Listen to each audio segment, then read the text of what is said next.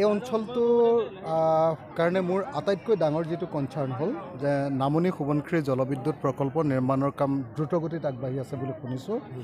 আৰু যদিহে এই প্ৰকল্পটো হয় তেতিয়াহ'লে এই অঞ্চলবিলাক সম্পূৰ্ণৰূপে ধ্বংস হৈ যাব এসময়ত। মই বাৰম্বাৰ কৈ আহিছোঁ যে নামনি সোৱণশিৰি জলবিদ্যুৎ প্ৰকল্প অসমবাসীৰ কাৰণে এটা জলবোমা আৰু ইয়াক যিকোনো পৰিস্থিতিতে আমি কৰিব লাগিব। নামনি সোৱণশিৰি জলবিদ্যুৎ প্ৰকল্প যিটো আপোনালোকে সকলোৱে জানে যে এক্সপাৰ্ট কমিটিয়ে কৈছে যে যিটো শিলৰ ওপৰত সেই বান্ধটো নিৰ্মাণ কৰি থকা হৈছে সেইটো হ'ল এটা ছেডিমেণ্টেৰী ৰক আৰু সেইটো এটা মৰা শিল। গতিকে যিকোনো মুহূৰ্ততে বান্ধ ভাগি যাব পাৰে। আৰু দ্বিতীয় কথাটো হ'ল ভূমিকম্পৰ জ'ন ফাইভৰ ভিতৰত সেইটো পৰে। গতিকে বান্ধ ভগাটো প্ৰায় যিকোনো সময়তে সম্ভাৱনা আছে। তো আজি নদীবান সম্পূৰ্ণ হোৱাৰ আগতে আমি দেখিছোঁ যে সোৱণশিৰি নদীত শিল ধৰি খোৱা মানুহবিলাক বালি ধৰি খোৱা মানুহবিলাক খৰি ধৰি খোৱা মানুহবিলাক তেওঁলোকৰ জীৱিকালৈ সংকটে সংকট কঢ়িয়াই আনিছে। মাছো কেইদিনমানৰ ভিতৰত নদীত নাইকিয়া হৈ যাব। গতিকে এফালেদি চাৰিওফালে অৰ্থনৈতিকভাৱে ক্ষতি হ'ব আৰু আনফালেদি আমি দেখিবলৈ পাইছোঁ যে এই নদীবান ভাগি পৰাৰ সম্ভাৱনা থাকিব। তাৰ বিপৰীতে কি পাম আমি? অসমে কেৱল পঁচিছ মেগাৱাটৰ বিজুলী বিনামূলীয়াকৈ পাব আৰু অৰুণাচল প্ৰদেশে দুশ চল্লিছ মেগাৱাট পাব বাকী গোটেইখিনি লুটি নিব এন এইচ পি চিয়ে আৰু এন এইচ পি চিৰ পৰা যি বিজুলী কিনিব পাৰিম সেই বিজুলীৰ পৰিমাণটো যিটো দিছে কিনিব পাৰিম সেইটো আনকি আমি বজাৰ দৰতকৈ বেছি দামত কিনিব লাগে। গতিকে এই মুহূৰ্তত মই গোগামুখৰ একেবাৰে ওচৰতে আছোঁ গেৰুকামুখৰ ঠিক একেবাৰে কাষতে আছোঁ। তাৰ মিংমাং অঞ্চললৈ আহ, মোৰ বুকুখনত যেন ক'ৰবাত এটা খুটিয়াই আছে ক'ৰবাত এটা হুমুনিয়াহে হেঁচা মাৰি ধৰিছে। যে মোক জেলত ভৰাই এক বছৰ ন মাহ জেলত ভৰাই নামনি সোৱণশিৰি জলবিদ্যুৎ প্ৰকল্পৰ কাম চলোৱা হ'ল। মোক জেলত ভৰাই টোল গেটসমূহ তৈয়াৰ কৰি থকা হৈছে। এতিয়াও এতিয়া ইয়ালৈ আহি থাকোঁতে শিৱসাগৰৰ পৰা আহি থাকোঁতে দুখন টোল গেট দেখি আহিছোঁ। আহ, গতিকে চাৰিওফালে অসমৰ মানুহৰ কাৰণে এটা দুৰ্যোগৰ বোজা নামি আহিছে।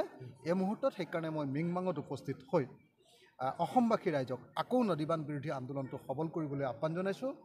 মোৰ দ্বিতীয় কনচাৰ্ণটো হ'ল মিংমাং অঞ্চলত যে এই অঞ্চলৰ থলুৱা খিলঞ্জীয়া আটাইবিলাক মানুহক আমি মাটিৰ অধিকাৰ দিব লাগে। এই অঞ্চলৰ মানুহবিলাকৰ মাটি আছে কিন্তু পট্টা নাই। গতিকে প্ৰত্যেকটো পৰিয়ালক যেতিয়ালৈকে মাটিৰ পট্টা দিব নোৱাৰিম এইটো আমাৰ প্ৰতিশ্ৰুতি আমাৰ কৃষক মুক্তি সংগ্ৰাম সমিতিৰ। তেতিয়ালৈকে আমি লাগি থাকিম আৰু সেইকাৰণে মই ইয়াতেই মিটিংখন অনুষ্ঠিত কৰিবৰ কাৰণে আহ্বান জনাইছিলোঁ। দীৰ্ঘদিন এটা সমস্যা সীমা সমস্যা। ইয়াতে গুলী চালনাৰ দৰে কাৰ্যসূচী হৈ গৈছে সদায় অনুষ্ঠানবিলাক তেনেকৈ জীয়াই আছে। এতিয়া গতিকে মই ভাবোঁ যে আৰু ইয়াত ভাগ ভাগ কোনোবা মাৰোৱাৰী কোনোবা বিহাৰীৰ পৰাই যে আমি পইচা উঠাওঁ সেইটো পইচা লওঁ দান বৰঙণি লওঁ তেওঁ এইটো কথা নহয়। আৰু তেখেতসকলেতো অসমতে থকা তেখেতসকলক আমি অসমীয়া বুলি ভাবিয়েইতো তেখেতসকলৰ পৰা দান বৰঙণি আৰু ছয় দিয়ে। ইয়াত জোৰ জবস্তি এনেকুৱা কথা নাই। আৰু এইটো ঠিক যে জোৰ জবস্তি কৈ পইচা উঠোৱাটোত মই এ, এক পক্ষ নহয় মই পক্ষপাতিত্ব কেতিয়াও নলওঁ। জোৰ জবস্তিকে মানুহে জোৰ জুলুম কৰি পইচা এটা উঠাই পেলাই এই সেইটো হেৰি কৰিব নালাগে। সেইটোত মই মুখ্যমন্ত্ৰীয়ে কোৱাৰ ধৰণে মই একমত।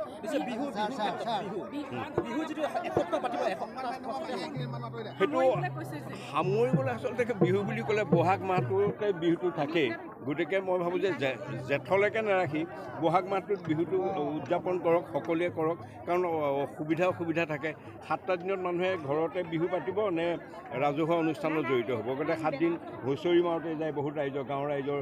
সাতদিন নিজৰ গাঁও অঞ্চলৰ হুঁচৰি চুঁচৰি মাৰি মেলি লৈ হয়তো সেই হুঁচৰি পইচাৰে কিছুমানে সাংস্কৃতিক অনুষ্ঠান উদযাপন কৰে। মই ভাবোঁ যে তেনেকুৱা নিৰ্দিষ্ট সময়টো ৰখাটো হেৰি নহয় বিহুটো আমাৰ সদায় তেনেকৈ থাকেই।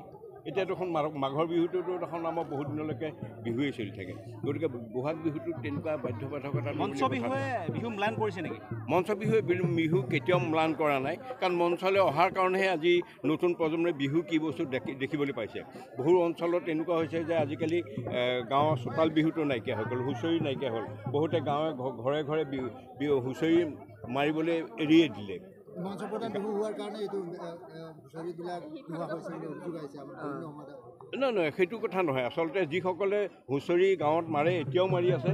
অকল মিডিয়াৰ কাৰণেই যে হুঁচৰিটো বা মঞ্চৰ কাৰণে যে হুঁচৰিটো বন্ধ হৈছে বা গাঁৱত বিহু নামাৰে সেইটো নহয় বহুত জেগাত মানে আমাৰ ফালেওতো এতিয়া আমি এসপ্তাহ দহ দিন আমি সময়ে নাপাওঁ। ধৰক হুঁচৰি গোৱা ৰাইজক সেৱা কৰি থাকোঁতেই যায়। সেইখিনিতো হুঁচৰিয়ে। তাতোতো বিহু ফাংচন পাতে। ঠাই বিশেষে কিছুমান জেগাত নাপাতে। সেইটো আজি অনুভৱটো মোৰ এটা বিশাল আয়োজন। বিশাল মন একোটা লৈ শোভাযাত্ৰাত অংশগ্ৰহণ কৰিছে। ইয়াত বিশালতাটো য'ত আছে তাত জয় আছে। সেইটোৱে কথা। দেখা গৈছে যে মুখ্যমন্ত্ৰীয়ে ইতিমধ্যে যিটো চান্দা সংস্কৃতিৰ কথা কৈছে সেই বিষয়ে আপোনাৰ আপুনি এজন শিল্পী হিচাপে কি মত আচলতে চান্দা আৰু বৰঙণিৰ মাজত অলপ হেৰি কৰি থাকে। কিছুমানে চান্দা সংস্কৃতি মানে জোৰ জবস্তি চান্দা উঠাই বলপূৰ্বকভাৱে আৰু সেই তেনেকুৱা কোনো ধৰণৰ অনুষ্ঠানো নাপাতে। এনেকুৱা কিছুমান পাবত গজা কিছুমান দল নথকা নহয়। আৰু তেখেতে যিটো কথা কৈছে সেইটোত মই ছাপোৰ্ট কৰোঁ। কিন্তু বৰঙণি অবিহনে দান বৰঙণি অবিহনে এটা অনুষ্ঠান জীয়াই ৰখাত অসম্ভৱ হয় বা এতিয়া বহাগতে আমাৰ যদিও সাংস্কৃতিক অনুষ্ঠান পতা হয় সেই সাংস্কৃতিক অনুষ্ঠানটোৰ ৰাইজৰ দান বৰঙণি যা দান বৰঙণি মানে ৰাইজৰ সেই একোটা মানে চিন্তা সেই অৰিহণাটো আগবঢ়াই লৈ অনুষ্ঠান এটাত আগবঢ়ায়। গতিকে তাত সেইটো দান বৰ সেইটো আচলতে চান্দা বুলি কোৱা নাযায়। আৰু সেইবিলাক নাথাকিলে দেখোন সংস্কৃতি জীয়াই নাথাকিব। সেইটো এটা কথা। গতিকে মই ভাবোঁ যে মুখ্যমন্ত্ৰীয়ে হয়তো দুইভাগেও ক'ব পাৰে। এটা যিটো অকল চান্দাৰ ওপৰত কিছুমানে চান্দাৰ ওপৰতেই তেওঁলোকে চলি থাকে। কিন্তু আমাৰ কিছুমান বিহু কমিটি আছে অনুষ্ঠানটো পাতিবলৈ দান বৰঙণি ৰাইজৰ পৰা লৈ পেলাই বছৰেকীয়া এটা অনুষ্ঠান আয়োজন কৰে। ৰাইজে খুব আন্তৰিকতাৰে য'ত আন্তৰিকতাৰে য'ত বৰঙণি আগবঢ়ায় তাক তাত নিশ্চয় তাত মোৰ তাত মই ছাপোৰ্ট কৰিম। অধিৱেশনত আপুনি যিহেতু অংশগ্ৰহণ কৰিছে অংশগ্ৰহণ কৰি আপুনি ৰাইজলৈ কি বাৰ্তা প্ৰেৰণ কৰিছে অংশ অংশগ্ৰহণ এইকাৰণে কৰিছোঁ ইয়াত জাতীয়তা বোধটো মানুহৰ হেৰি আছে আৰু মোৰ জাতীয়তা বোধটো মোৰ নিজৰ আছে কাৰণে মই এই অনুষ্ঠানটোত অংশগ্ৰহণ কৰিছোঁ আপুনি নতুনকৈ সাধাৰণ দায়িত্ব বা আপুনি দায়িত্ব লৈছে এই ক্ষেত্ৰত আপোনাৰ মনোভাৱ কেনেকুৱা হয় যোৱাকালি আমাৰ প্ৰতিনিধি সভাই মোক নতুনকৈ যুটীয়া সম্পাদক দায়িত্ব দিছে। তাত মই ঠিকে আনন্দিত হৈছোঁ। কিন্তু এইবাৰ আমাৰ পৰিকল্পনা সংগঠনটো অলপ বেলেগ ষ্টাইলৰ হ'ব। বেলেগ সংগঠনৰ দৰে নহয় বা এইবাৰ আমাৰ এটা এই আজি শপত গ্ৰহণ হোৱাৰ পিছতে আমাৰ এসপ্তাহৰ ভিতৰত এখন আমি কাৰ্যনিৰ্বাহ দিম। কাৰ্যনিৰ্বাহত আমাৰ সিদ্ধান্তটো হ'ব। প্ৰতিখন গাঁৱত আমাৰ দুখীয়া দৰিদ্ৰতা ৰাইজৰ অভাৱ অভিযোগবিলাক আমি গুৰুত্ব দিম। আৰু প্ৰত্যেকখন ঘৰত আমি যোৱাৰ চেষ্টা কৰিম। আৰু প্ৰতিটো সমস্যাৰ ওপৰত আমি মাত মাতিম। আৰু বিশেষকৈ আমি আম- বাছি লৈ লোৱা এতিয়া বৰ্তমান বাছি লোৱা হৈছে যে যিটো আমাৰ সম- সমবায় সমিতি যিটো কেলেংকাৰী হৈ আছে ধৰক চাউল কাটি আছে আৰু ধৰক এমৰেগা আঁচনিৰ যিটো জব ভুৱা জব কাৰ্ড ভুৱা চি এছ পি আৰু ভাড়া দিয়া জব কাৰ্ডৰ ওপৰত আমি খুব তীব্ৰ আমি নজৰ ৰাখিম আৰু ভৱিষ্যতে আমি সংগঠনটো আগতকৈ শক্তিশালী কৰি নিম বুলি আমি দৃঢ় প্ৰতিজ্ঞাবদ্ধ কৰিছোঁ। আচ্ছা আজি আপোনালোকৰ সভাখনত মুখ্য অতিথি হিচাপে কোন মুখ্য অতিথি হিচাপে যাদৱ পায়েং আহিব। আৰু আমাৰ এতিয়া অৰুণ হাজৰিকা ইতিমধ্যে শোভাযাত্ৰা অংশগ্ৰহণ কৰিলে আৰু অখিল গগৈ আহিব শিৱসাগৰ বিধায়ক। সেইকেইজনে আমাৰ আজি মেইন মুখ্য অতিথি হিচাপে থাকিব।